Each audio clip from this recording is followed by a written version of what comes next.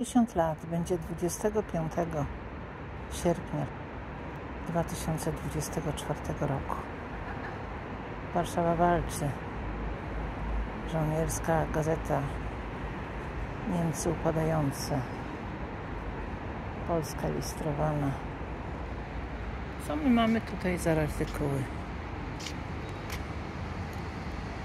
AK poszerza stan posiadania. Jak żyje się w Śródmieściu? Pierwszy występ Piata. Żołnierzaka z bronią. Wyzwolenie Paryża i Rumunii. Zadecyduje kraj. Teresa. Ciężka strata. Była Teresa, Wanda Iwanka. Zginęła trafiona pociskiem niemieckim.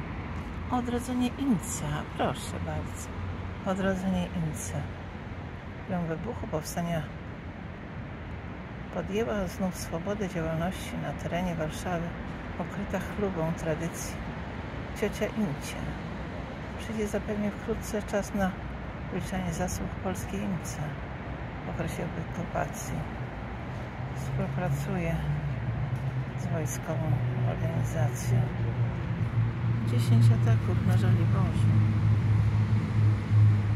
Każdy pożar można ugasić. Nie może być trudności z pomocą do Warszawy.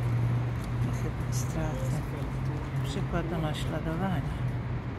Słuchajcie radiostacji nadawczej. Błyskawice. Alianci przyznają prawa Rumunii. Amerykanie 170 km koło Renu premier Churchill prowadzi w Rzymie konferencję z premierami Grecji i Włoch.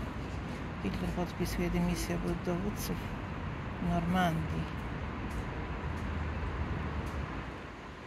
W Zatoce między Brest a Loret alianci zatopili 8 jednostek floty niemieckiej.